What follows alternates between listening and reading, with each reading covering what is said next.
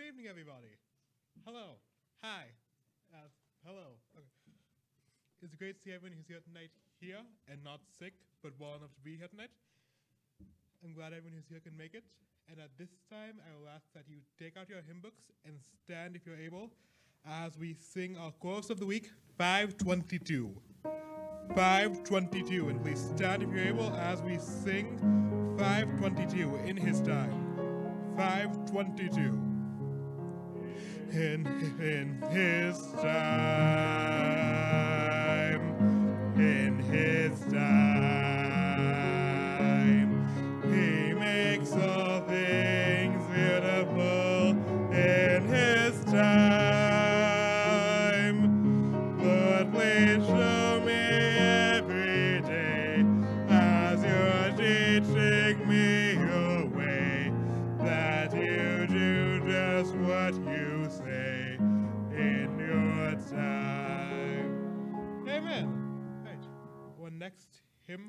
Will be 96. 96. 96. 96. Bring them in. We'll sing all three verses. 96. 96. Hark, tis the shepherd's voice I hear out in the desert, dark and drear, calling the sheep who've gone astray, far from the shepherd's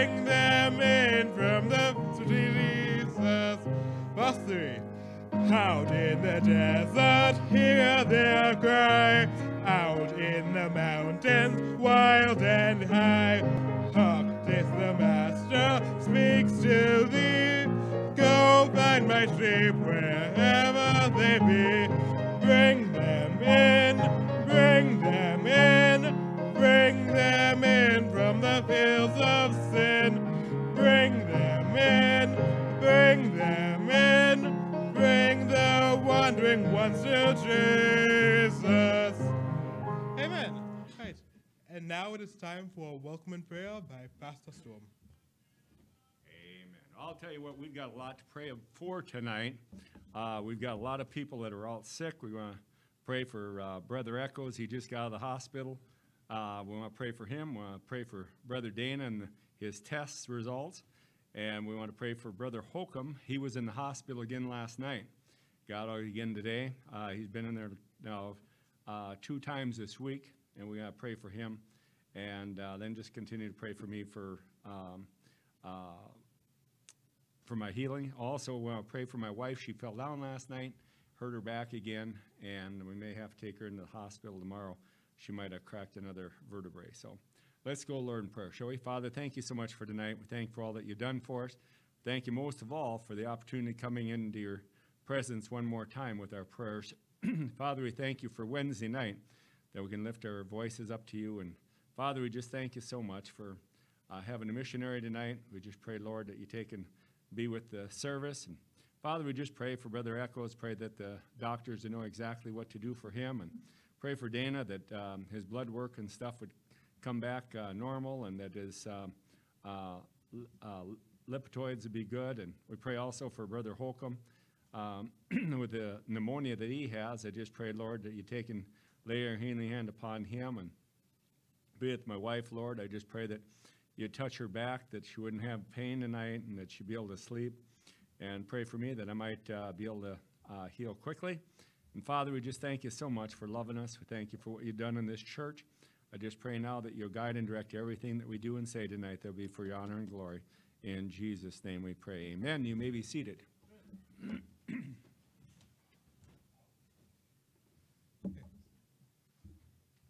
Next, we have time tonight for one request and one request only. One, yes, sir. 56, 56 is our first and last request of tonight. 50, our first and only request of tonight. 56. 56. The Old Rugged Cross. So 56, for our first and only request of tonight, we'll sing verses 1, 2, and 4. 56.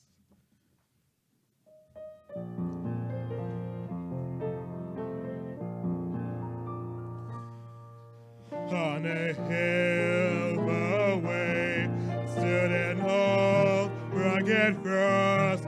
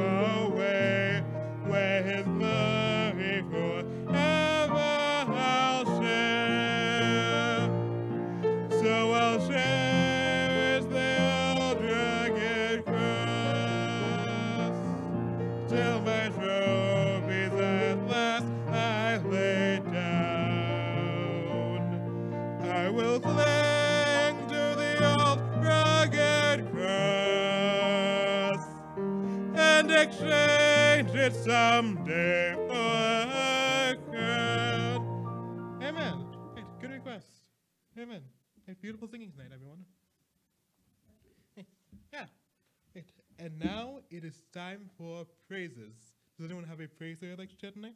Anyone to start off tonight? Yes, sir. Amen.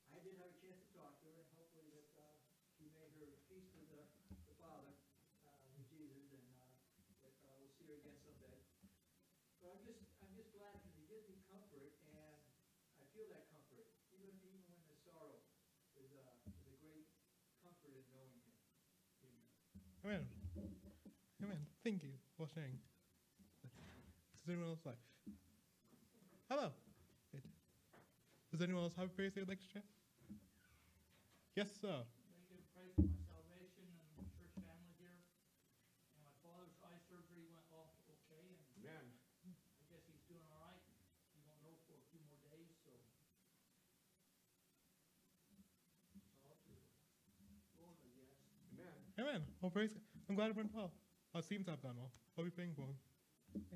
Does anyone else have a praise they'd like to share?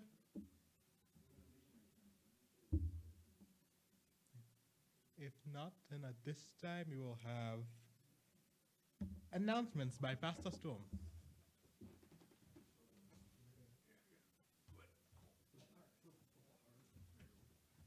Amen. I'll tell you what, it's good to be in church on Wednesday night. We got a lot of people gone, and um, we've got people that are all sick. Um, Brother Miss Holcomb are gone. Um, Nancy had to take uh, Jacob over to um, Casa Grande for some test or something for the Army. And so they um, uh, are over there. And uh, we've got, um, um, oh, Robert's on his way from Sonorda. He was all the way down in Sonorda today. And uh, so it, uh, so we've got uh, a lot of people gone today, but we've got a lot of things coming up. We've got, um, um,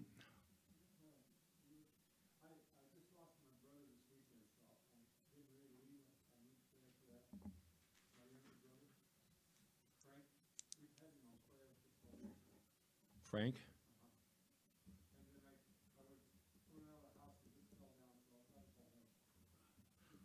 Where do you live?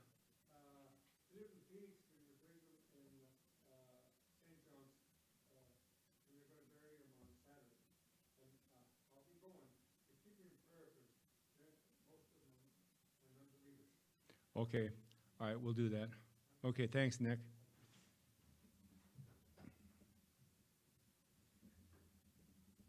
We need to pray for um, their family. Um, Anyway, we've got, uh, um, we've got missionary night. Uh, This coming Saturday, we've got men's breakfast at, at 8 o'clock.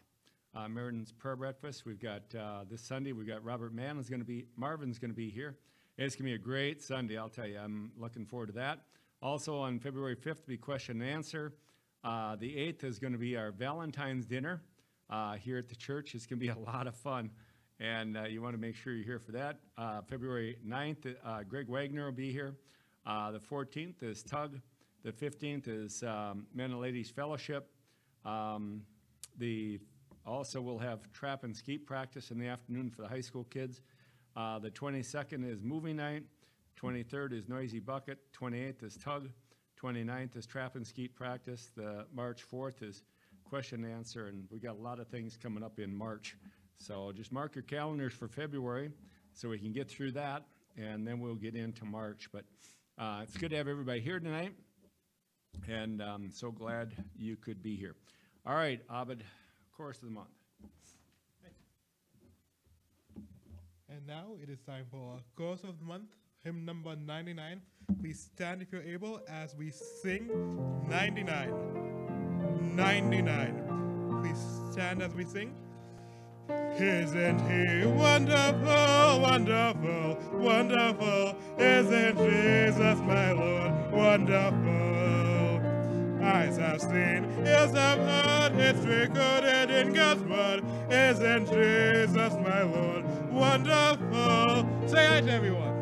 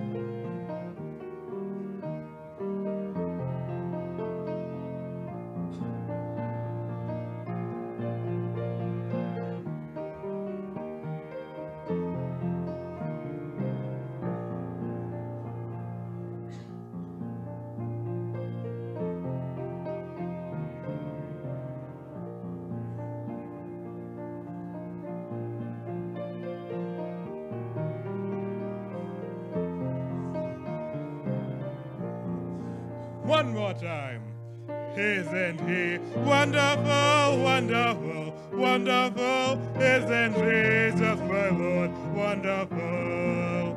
Eyes have seen, ears have heard, it's recorded in God's word. Isn't Jesus my Lord wonderful?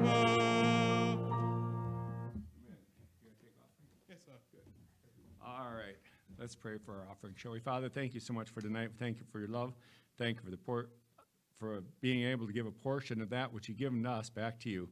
I just pray now you bless these offerings. In Jesus' name we pray. Amen. You may be seated.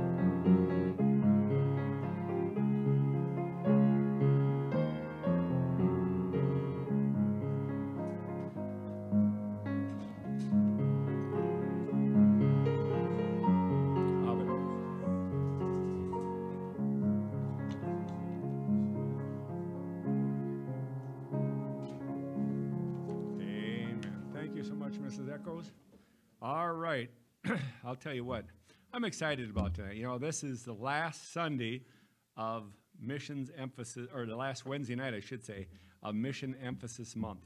Um, we used to have missions conferences and then have missionaries in Sunday, Monday, Tuesday, Wednesday. And Monday and Tuesday, usually we didn't have many people here. Actually, we don't have many people here tonight, but uh, we started doing it on Sunday morning, Sunday night, and Wednesday night, and then we run it through the whole month of uh, January. We get to see more missionaries, plus um, we get to spend a little more time with them. So, but tonight we've got the Grays here. They're going to be missionaries to uh, the Philippines, and got the name right? Jones. Huh? Jones. I knew it was. I knew it was an. E- well, we had Brother Gray here on Sunday, and that's why I was thinking Gray. Um, anyway, uh, the Joneses are here. They're going to be going to the Philippines. I'm excited about that because um, that's where um, uh, somebody has a uh, other half. Anyway, um, I don't know who that would be, right? Did you text her and tell her to watch? Oh, okay. She watches almost every service, so. But, um, so at this time, I'm gonna turn it over to the Joneses. They've got their, um, um, video presentation and, and everything for us, so God bless you.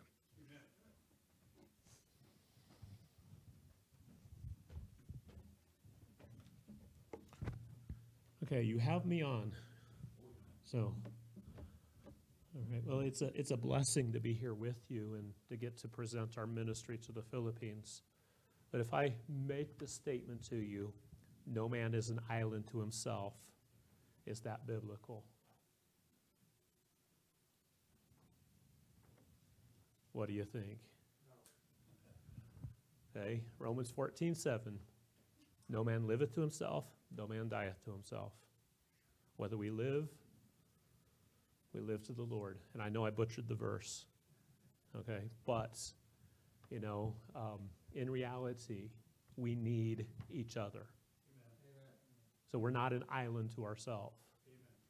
Um, but, you know, so much of what missions work has been perceived at is really one man going out into one location, almost in a Lone Ranger type mentality, you know. But um, what we're doing is a unique ministry uh, in the Philippines. Our ministry is pioneering missions in the Philippines. All right, now, our goal, all right, is to plant a thousand churches in the next 20 years. Okay? Now, when I, when I put that out there, unless you've been to the Philippines, you might think I'm crazy. But if you've been to the Philippines and you've seen what's going on there, it's very realistic. But I actually just Friday, about midnight, I got back from the Philippines. I was just there, and we took parts in two church planting works there in the Philippines. And we actually had part in training these men in the Philippines. Now, I'm praying that I could go back in March. When I go back in March, we're going to have 30 or more that we're going to teach sign language to. Now, when you talk about, you know, missions, missionaries, the focus is training the nationals to do the work. And we've sent missionaries for years to the Philippines, the 40s, 50s, 60s. I mean, we have sent missionaries there for years. And I actually met another American missionary that really is, has the same mindset as me um, on this last trip in the, in the Philippines, Mike Mislin. And um, he made the statement to me. Actually, I made the statement to him first, and he agreed with me. It's time for the Filipino people to take the leadership in the churches. You know, it's time for them to step up to this. Um, I was at Faith Baptist Church, Mexico, Pampanga, uh, Philippines, and um, we are actually um, teaching their Bible college students right now, and they have uh, two, they actually have, I believe, two men in the Bible college right now that are planting churches. You know, there, there, there was a day in America, you know, when you graduated from Bible college, you loaded up the U-Haul and took off across the country and said, we're going to go plant a church. Uh, but we don't see that type of faith in America. You know, but in the Philippines, um, Pastor Janelle Suet is the pastor of that church. When he went to start that church, um, he had a, a food cart. Now, if you don't know what a food cart is, you're going to find out soon. But a food cart is just a cart they push down the street, and they've got um, a means to cook it, and they sell food off that cart. That's how he supported himself starting the ministry. Okay? You know, and so he he just he just went and did it. Now he's built a church. He's got a Bible college going in his church, and we are teaching in that Bible college as we speak. Now, what are we doing? What we're using is Skype. You ever hear of Skype? Okay. I've got pastors here in America that are teaching live classes on the other side of the world. So I say, no man's an island to himself. I'm putting together a group of men that are teaching to the other side of the world live classes. We actually uh, just did a class um, here a couple weeks ago, but um, we're, we're doing it live classes with men in America teaching the Filipinos. And you know, we're, we're just starting our second semester. But our goal is to be boots on the ground in the Philippines and then have these men hook on the Skype in the evenings, mornings. And, you know, with, um, with Arizona right now, you're on mountain time. Uh, but the other half of the year, you're on, um, well, actually, you stay, everybody else moves, right? Yes. All right. And so everybody else is goofy. So, all right. Well, um, you know, there is time three, four hours in the morning, three, four hours in the evening, depending on the time zone, that we can teach live classes. I want to be boots on the ground in the Philippines, working with the Filipinos, training them, helping them to plant the churches. And um, then have in the evenings and the mornings, preachers hook on and teach live classes on the other side of the world. Because I said, no man's an island to himself. You know, so we're putting together a team of people via Skype to build a Bible college via Skype and to plant a thousand churches with Filipino leadership in the next 20 years. So we'll show the video now.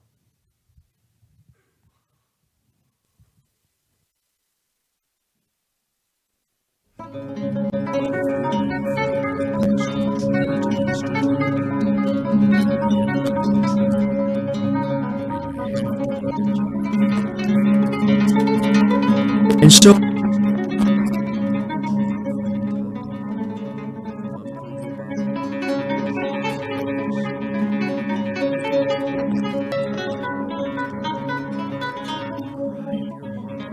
なるほど。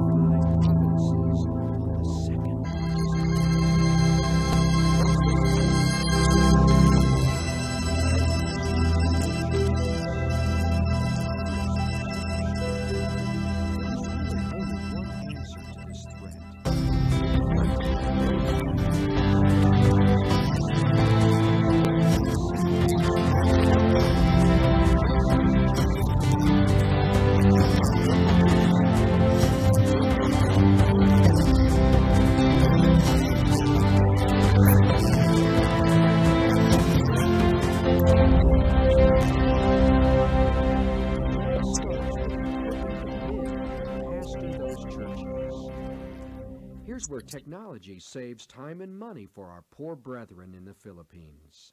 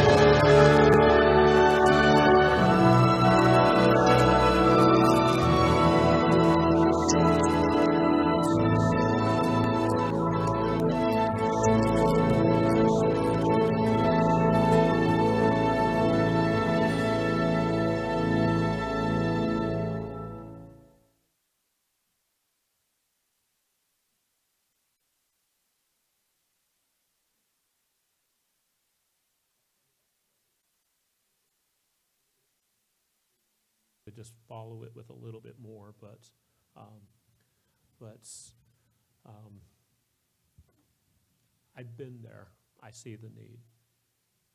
And I know, you know, they are begging for help. First time I went to the Philippines, two thousand eleven, I walked into a little room that's probably, the entire room was the size of this center section. There's three chairs on this side, three chairs on that side. There was a window here, there's a window back there, the back door was open. This was Wednesday night prayer meeting. There was more people outside the building than inside. Okay? That's how their churches are growing. And when you begin to talk about it, I was in, I mean, church after church after church where those buildings were packed out to the max.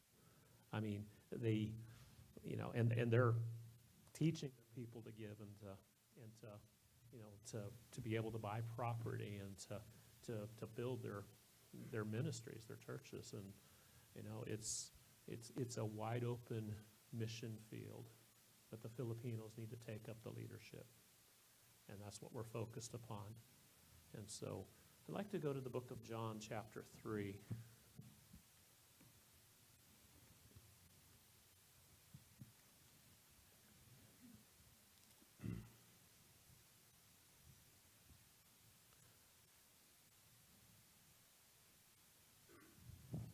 Now, I should ask, how much time do I have? About seven? Okay. So I've got about 30 minutes. So, one time I was preaching, and I kept looking at my watch and said, I got another 10 minutes, and looked at my watch and said, I got another 10 minutes, and, and, and, you know, about the fourth or fifth time, I looked at my watch, and it dawned on me, my watch had stopped. So, as long as my, my watch doesn't stop, we'll be out of here by seven, okay? So, uh, John chapter 3, and um, beginning in verse 1. It says, There was a man of the Pharisees named Nicodemus, a ruler of the Jews. The same came to Jesus by night and said unto him, Rabbi, we know that thou art a teacher come from God, for no man can do these miracles that thou doest except God be with him. Now, first question that I want to ask you this evening why did Nicodemus come to Jesus by night? What was his reasoning? Now, in everything that we do in life is cause effect. You understand when I say cause effect? I mean, if it's cold, you put on your coat.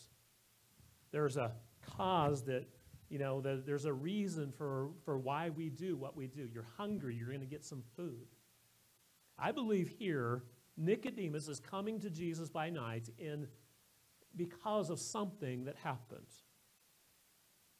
And I want to go back into chapter 2, verse 13, and give you what I believe to be the reason why Nicodemus came to Jesus by night.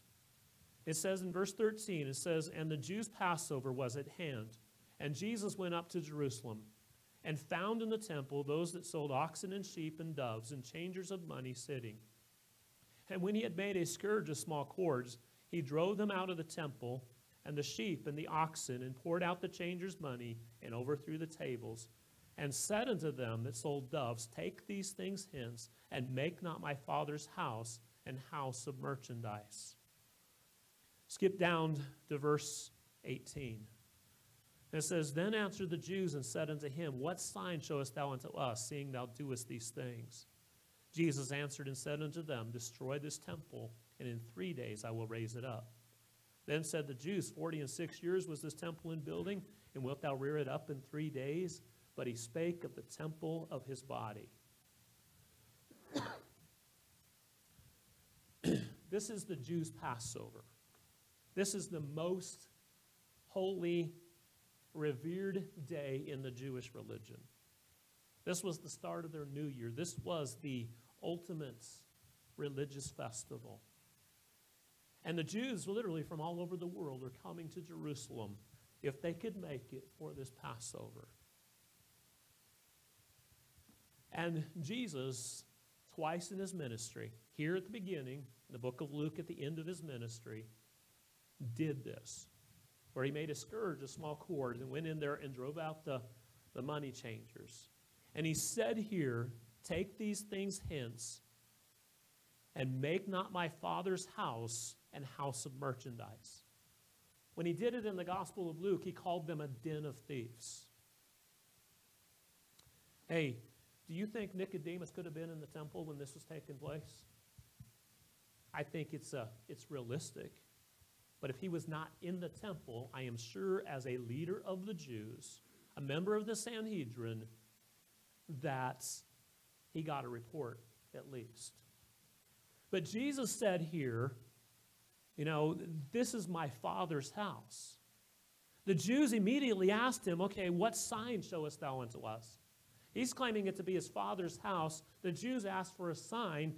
Jesus here is claiming to be their Messiah. And Jesus gives them the sign destroy this temple, in three days I will raise it up.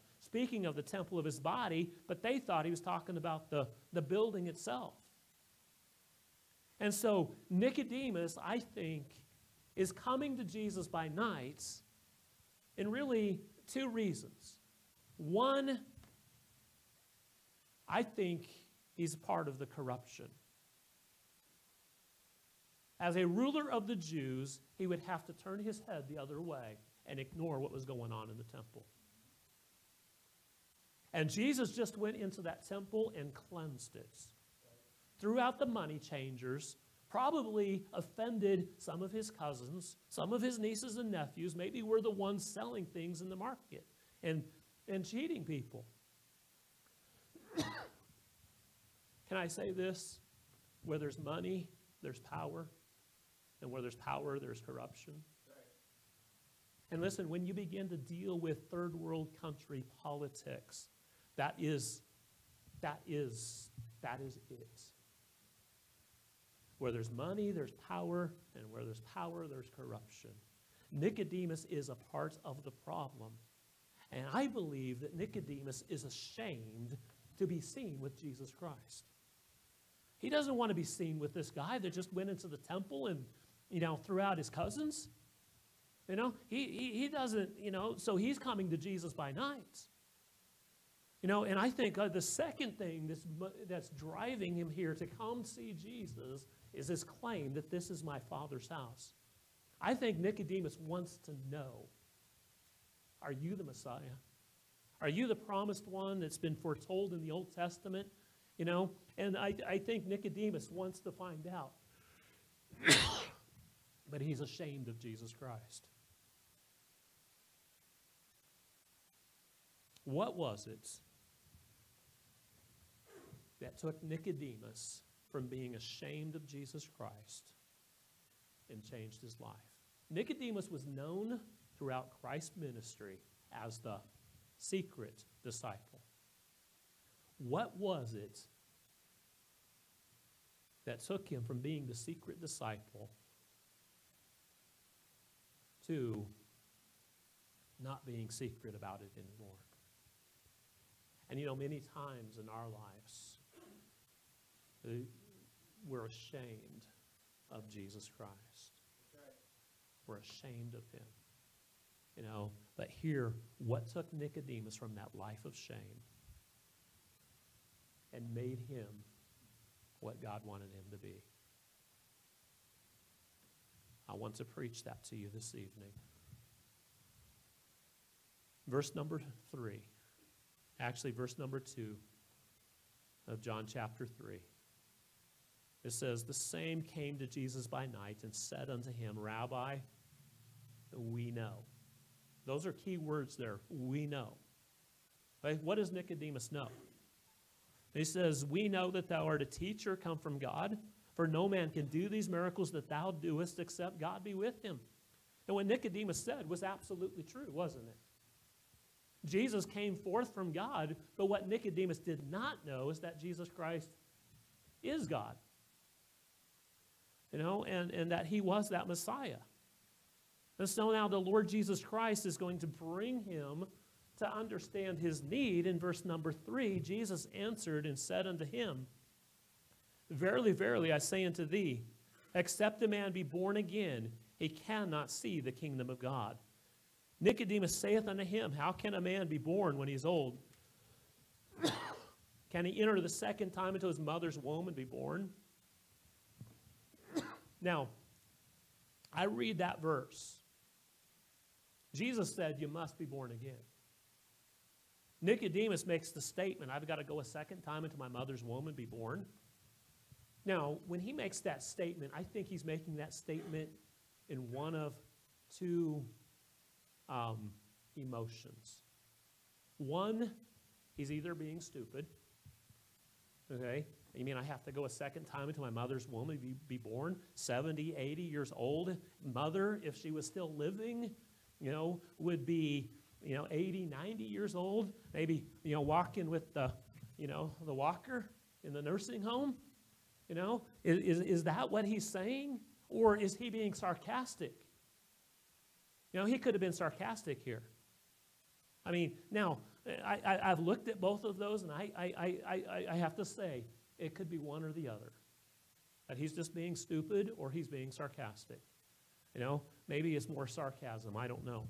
Um, but Jesus answers his question in verse 5. Jesus answered, Verily, verily, I say unto thee, except a man be born of water and of spirit, he cannot enter into the kingdom of God. That which is born of the flesh is flesh, that which is born of the spirit is spirit.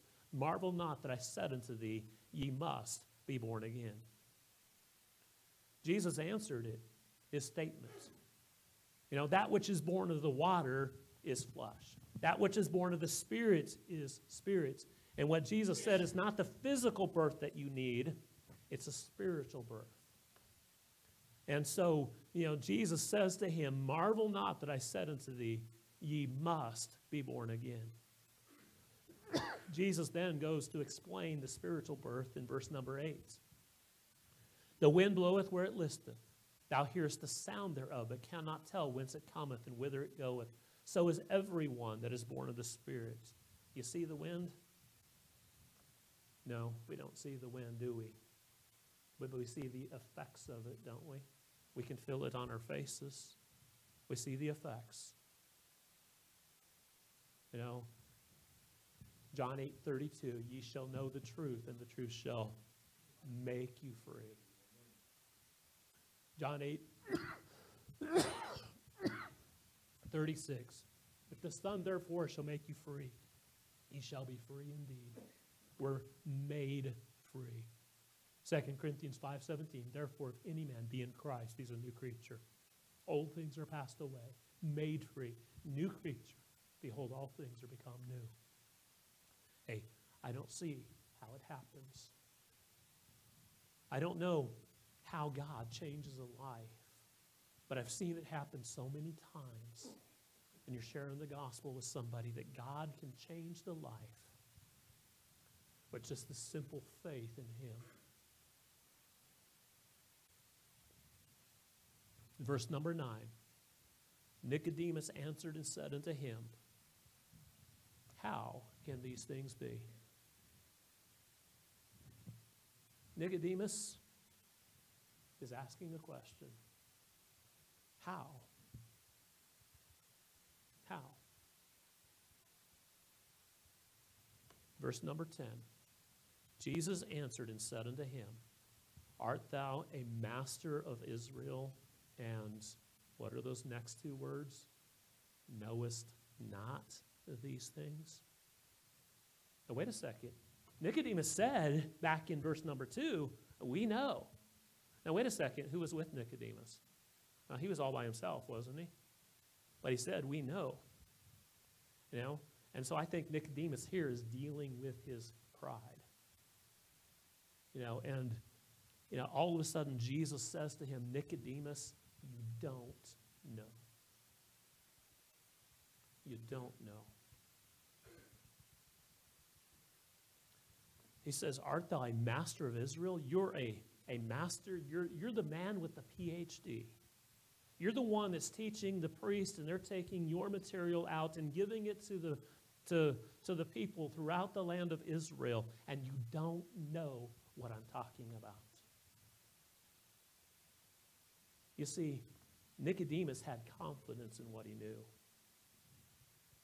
But listen, is there something God wants us to know further? I think there is. Paul said in Philippians 3:10 that I may know him.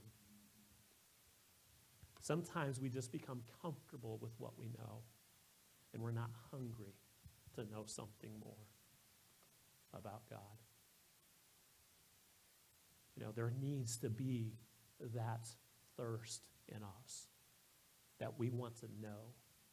And the Lord Jesus Christ is bringing Nicodemus to this point that he says, I don't know.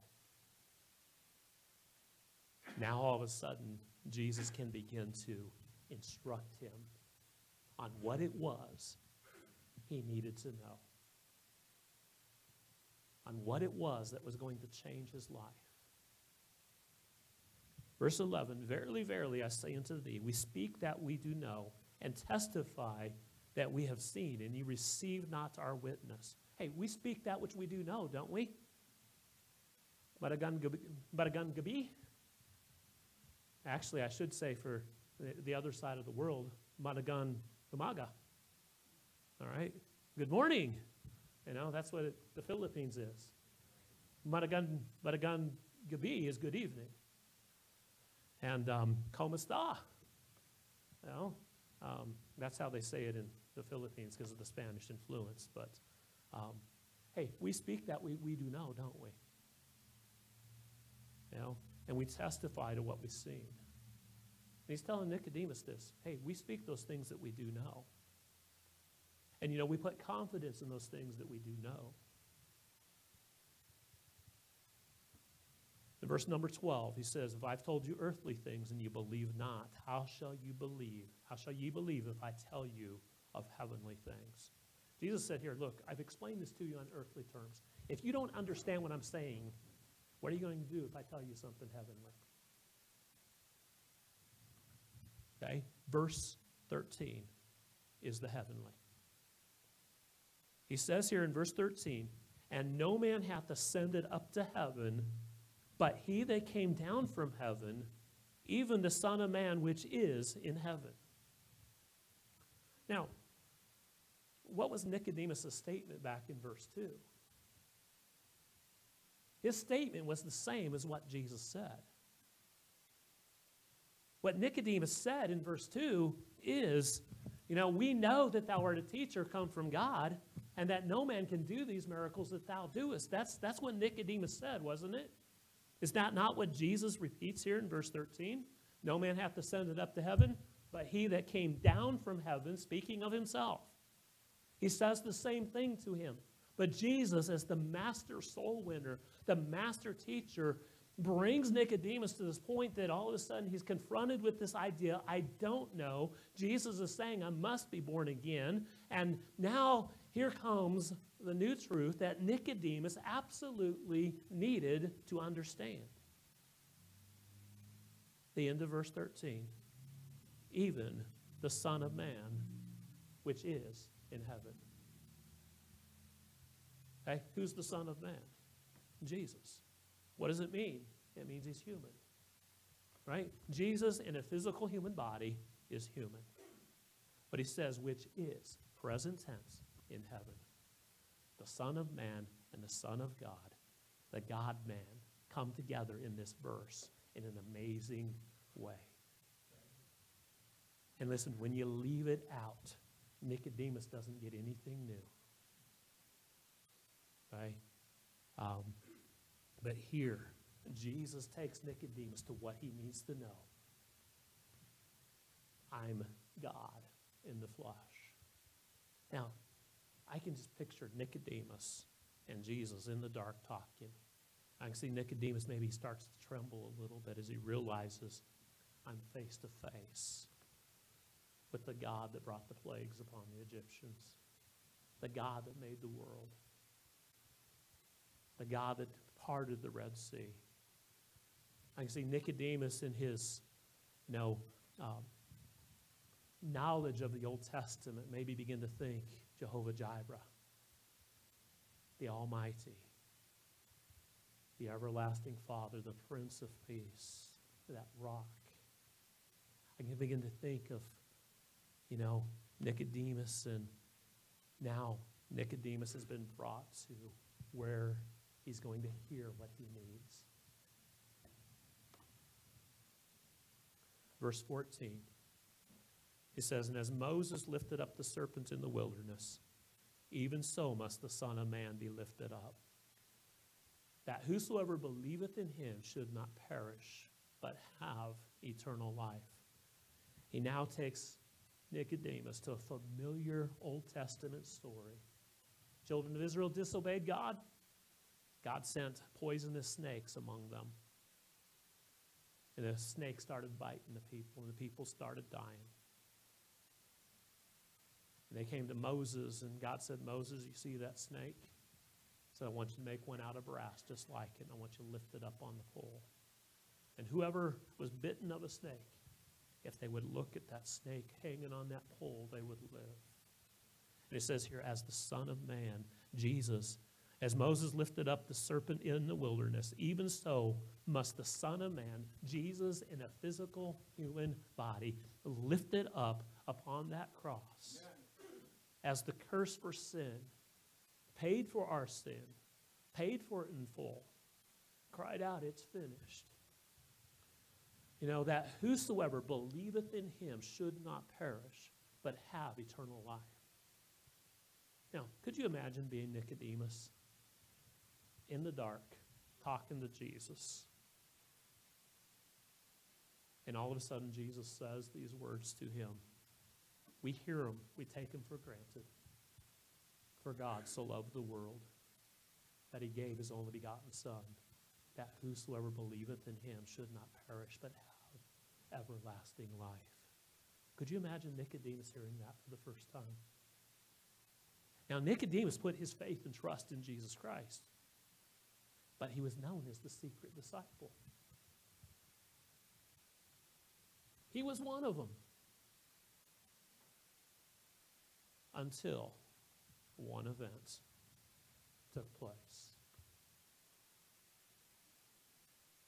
And Nicodemus was no longer a secret disciple, but when Jesus was lifted up upon that cross, the emblem of suffering and shame, that shame, that embarrassment that Nicodemus had that made him come to Jesus by night, when he saw him lifted up upon that cross and died, Nicodemus and another man, Joseph of Arimathea, went to Pilate publicly and begged the body of Jesus. What was it that took him from being the secret disciple to publicly asking for his body? It was very simple. He saw the Lord lifted up upon that cross with his own physical eyes. That took him from the life of shame to publicly proclaiming the Lord Jesus Christ. This man, Nicodemus, Orthodox Jew, it was forbidden for him to touch the dead body. But he went with his own hands and took the body of Jesus down from off that cross and buried him in a tomb. No longer a secret disciple, but publicly going and taking his body and burying it. That's what took him from a life of shame to a life of publicly proclaiming and identifying with the Lord Jesus Christ. You see, shame can become a thing that can control us. Now, we can become ashamed of Jesus Christ. But what changes that is when we, with the spiritual eyes, get to a vision of Him lifted up. And you know what I mean by a vision. You see it spiritually. Okay? I'm not talking charismatic stuff, so, know, but it's lifting Him up and seeing Him lifted. And listen, He said, and I, if I be lifted up, will draw all men unto me. Um, Matthew chapter 11.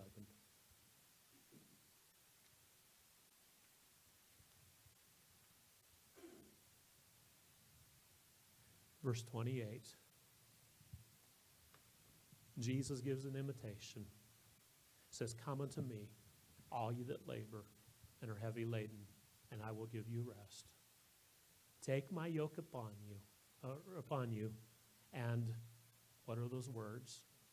Learn of me. We're to learn of him, aren't we? That I may know him.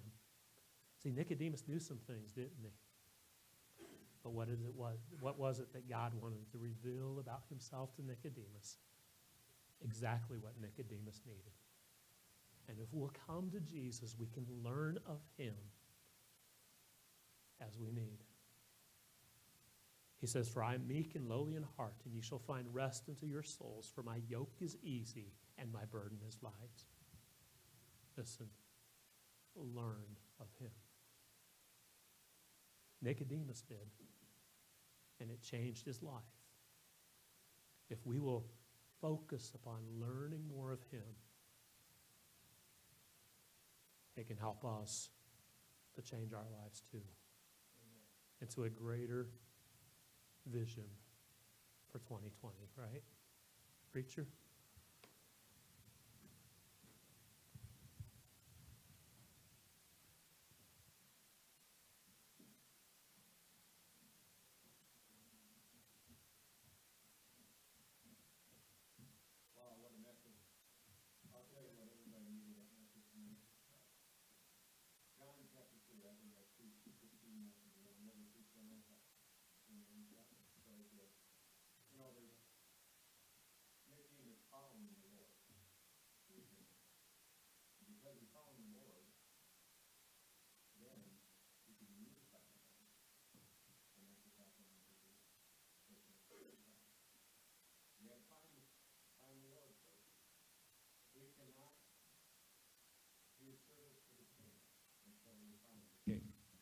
Need to realize that we all need to be in the service of the King.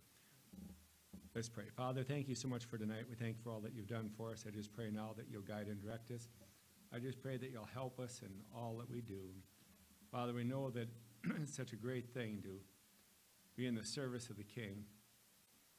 Maybe there's one here tonight that is watching on the internet that doesn't know you as their personal Savior. Father, just pray tonight that they might understand that they're a sinner. They need to understand that there's penalty for their sin. They need to understand that you died on the cross. If we'd went one verse further than what we did tonight, it says, For God so loved the world that he gave his only begotten Son, that whosoever believeth in him should not perish but have everlasting life. Person needs to understand that Jesus died for your sins and mine. You can accept him tonight just by asking and saying, Lord, I know I'm a sinner. I know there's a penalty for my sin, and I accept Jesus to be my personal Savior. I want to live for him from here on, just like Nicodemus. In Jesus' name I pray. Amen. I want to thank everybody for being here tonight. And um, I'll tell you what, get to know the missionaries before you leave. And it's been a super great night. Amen? All right, you are dismissed.